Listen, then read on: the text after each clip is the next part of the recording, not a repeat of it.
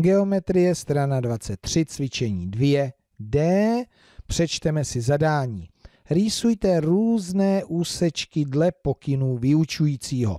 Tak co kdyby vám vyučující zadal, narýsujte úsečku RS o délce 45 mm.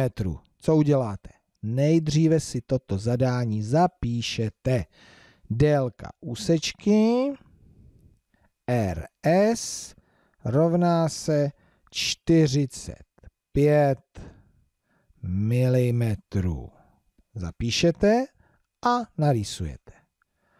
Ostře ořezaná tuška, přímá čára, jeden krajní bod R, přikládáte nulu a odměříte 45 mm. 40 to jsou 4 cm, 5 mm k tomu, 45. Označíte druhý krajní bod RS a máte splněno. Takže po zadání vždycky si zapište to zadání a potom to narýsujte. Nic těžkého, tohle to zvládnete.